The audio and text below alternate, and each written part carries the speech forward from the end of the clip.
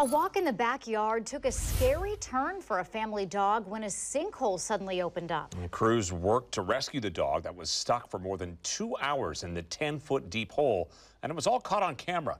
Fox 12's So Young Kim has the story. Meet Bug. She's 13 years old. Would you like to shake my hand? Thank you. Her family says Bug got her name from her love of chasing things. Or like chasing ants or something. She was doing something kind of silly. So I think part of her name came from that. But on Saturday evening, Hey, girl, it's okay. Yeah. You're good. Bug went on an unplanned adventure just before 6 o'clock.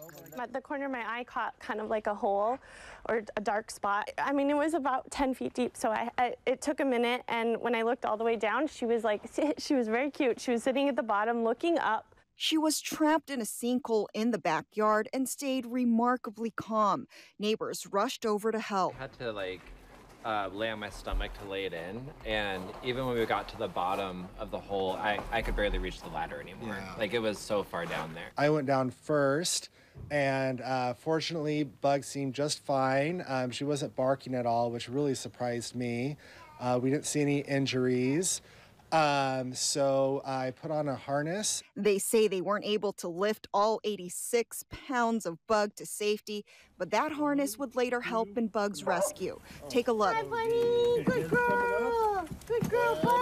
Here's Portland Fire and Rescue crews bringing Bug back up to safety. To hook the harness and pull her up, and then they used some ropes too. And so I think they pulled her up like two different points.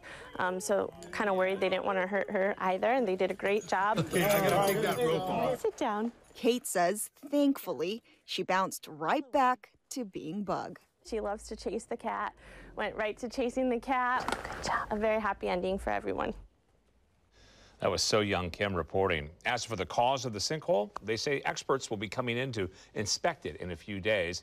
And we can confirm tonight that Bug is doing great.